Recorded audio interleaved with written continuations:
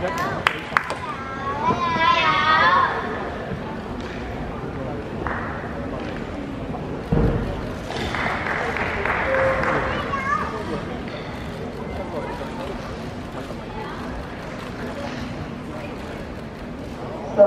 now for main teams, the four for Malaysia and Australia now.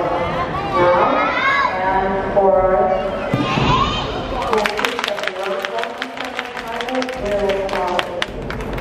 on Lord.